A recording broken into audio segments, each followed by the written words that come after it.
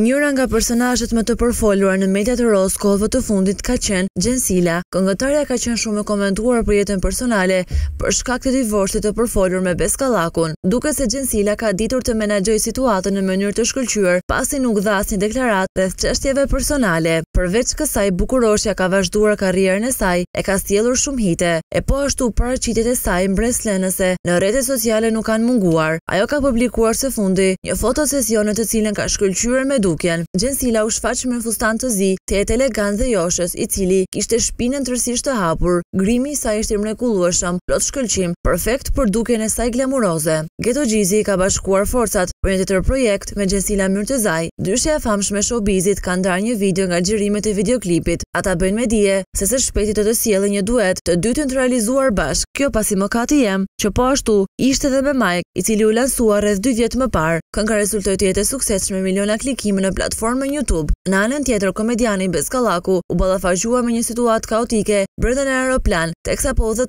nga Milano, në aeroportin e rinasit.